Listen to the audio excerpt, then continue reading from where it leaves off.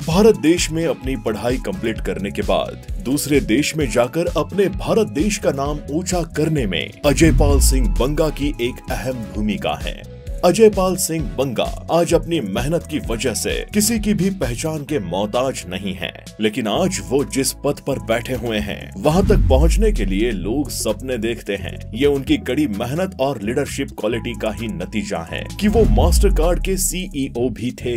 पर इनकी इस सक्सेस जर्नी में कई इंटरेस्टिंग मोड़ आए। दोस्तों, अगर आप भी अजय पाल सिंह बंगा की फुल सक्सेस स्टोरी जानना चाहते हैं तो वीडियो के लास्ट तक बने रहे। अजय सिंह बंगा, जिनका जन्म 24 अक्टूबर उन्नीस सौ उनसठ को महाराष्ट्र के पुणे, भारत में हुआ था। लेकिन वो मूल रूप से पंजाब के जालंधर के रहने वाले हैं और ये एक सिख परिवार में पले बढ़े हैं। इन्होंने अपने बचपन के दौर में बड़े पैमाने पर यात्रा भी की है। साथ ही इनका बड़ा भाई मनविंदर सिंह बंगा है, जो की पेशे से एक बिजनेसमैन है। और इनका भी हमारे देश में बड़ा नाम है, जिन्होंने हमारे देश का नाम काफ़ी ऊँचा उठाया है। सफलता की सीढ़ियों पर चलना जैसे उनके परिवार की परंपरा है। अजय बंगा बताते हैं कि उनके परिवार में शिक्षा, अनुशासन और जीवन में बड़े बोझ रखने की परंपरा है। साथ ही उनके परिवार में हर कोई न कोई अपने पैरों पर खड़ा, जैसे इनके दादाजी और इनके पिताजी, जो एक सेना अधिकारी थे। और इसी परंपरा के चलते इनको ये मुकाम हासिल हुई है।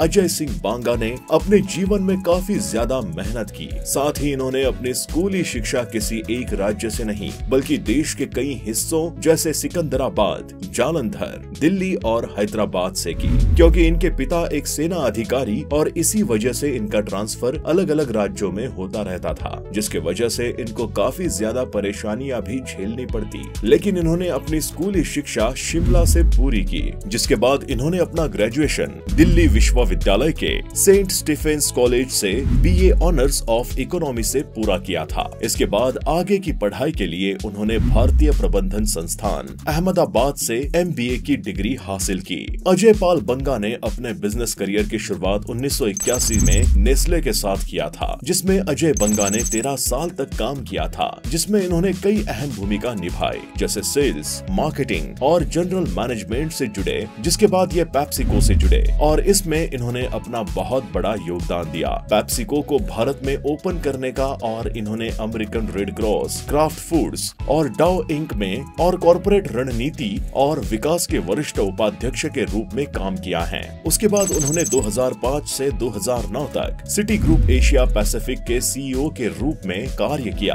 और अमेरिकी उपराष्ट्रपति कमला हैरिस के साथ पार्टनरशिप फॉर सेंट्रल अमेरिका के सह अध्यक्ष के रूप में भी काम कर चुके हैं। साल 2015 में अमेरिका के पूर्व राष्ट्रपति बराक ओबामा ने उन्हें व्यापार पॉलिसी और वार्ता के लिए राष्ट्रपति की सलाहकार कमेटी में भी चुन लिया था। अजय बंगा साल 2010 में मास्टर कार्ड के सीईओ और प्रेसिडेंट के तौर पर चुने गए थे सीईओ के रूप में अपने कार्यकाल के दौरान मास्टर कार्ड ने अपने काम को काफ़ी ज़्यादा लोगों के बीच में इसका फैलाव हुआ है और कंपनी के विस्तार में नवाचार और उनके लीडरशिप अजय पाल बंगा को व्यापक रूप से सौभाग्य मिला था अजय बंगा विदेश नीति संघ और वित्तीय सेवा गोलमेज सम्मेलन के भी सदस्य हैं। ऐसा भी कहा जाता है कि ये सोशल डेवलपमेंट की तरफ़ इनकी गहरी रुचि है। और तो और ये विदेश संबंध परिषद और न्यूयॉर्क के आर्थिक क्लब के सदस्य भी हैं। ये जानकर आप हैरान हो जाएँगे कि अजय पाल सिंह बंगा को दुनिया में चौथा सबसे शक्तिशाली भारतीय व्यक्तियों में इनकी गिनती की जाती है। और Banga ji Enterprise Community Partners Inc National Urban League और New York Hall of Science के ट्रस्टियों के बोर्ड में से एक है। अजय पाल बंगा सामाजिक विकास के मसलों में ये काफ़ी दिलचस्प रहा करते हैं। उन्होंने पहले एंटरप्राइज कम्युनिटी पार्टनर्स और नेशनल अर्बन लीग के ट्रस्टियों बोर्ड में काम किया।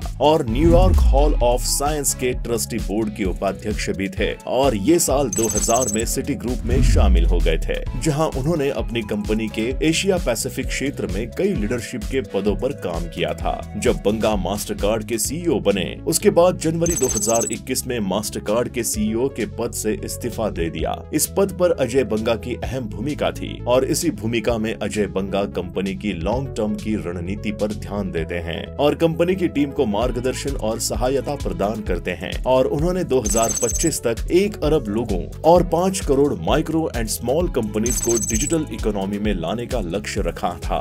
दोस्तों, अब हम इनके परिवार के बारे में बात करें तो इनके फैमिली में इनके पिता हरभजन सिंह बंगा, जो एक सेना अधिकारी थे, और इनकी माँ जसवंत कौर, जो एक गृहिणी थी। अजय बंगा की पत्नी का नाम रितु बंगा है और इनके दो बच्चे भी हैं, एक बेटी और एक बेटा, जिसका नाम जोजो बंगा और अदिति बंगा है। दोस्तों, जैसा कि आप सभी जानते हैं अजय पाल सिंह बंगा मास्टर कार्ड के सीईओ रह चुके हैं। लेकिन क्या आप जानते हैं अजय पाल सिंह बंगा के बाद मास्टर कार्ड के नए सीईओ सीईओ माइकल मिबैक हैं। अजय पाल सिंह बंगा ने अपनी मार्केटिंग स्ट्रेटेजीज मास्टर कार्ड से सभी लोगों के बीच में इतना पॉपुलर कर दिया कि ये एक स्टेटस सिंबल बन गया। और तो और इन्हें मशहूर पत्रिका फॉर्चून ने 2012 में सबसे शक्तिशाली उद्योगपति के तौर पर चुना गया था। बिज़नेस के क्षेत्र में बंगा का योगदान देखते हुए साल 2016 में उन्हें भारत सरकार ने अजय पाल सिंह बंगा को पद्मश्री से सम्मानित किया था। और जैसे कि आप सभी को पता है कि इनके भाई हिंदुस्तान यूनिलीवर के पूर्व चेयरमैन मनविंदर सिंह बंगा भी एक जाने माने उद्योगपति हैं।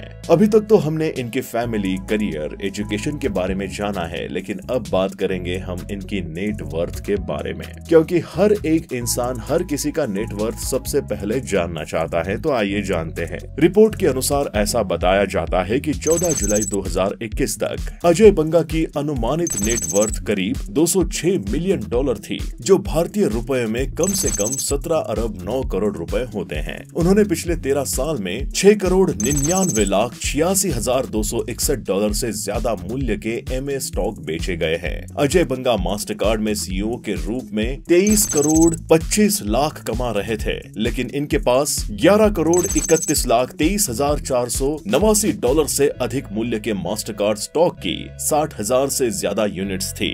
हालाँकि ये सभी आंकड़े साल 2021 तक के हैं। उन्होंने मुख्य रूप से फाइनेंस इंडस्ट्री में अपने सफल करियर के माध्यम से अपनी संपत्ति अर्जित की है। दोस्तों, अगर हम इनके अनुभव के बारे में बात करें तो इनको कारोबारी का कम से कम तीस साल से भी ज़्यादा अनुभव है। अजय पाल सिंह बंगा ने कई ऐसे पदों पर काम किया है।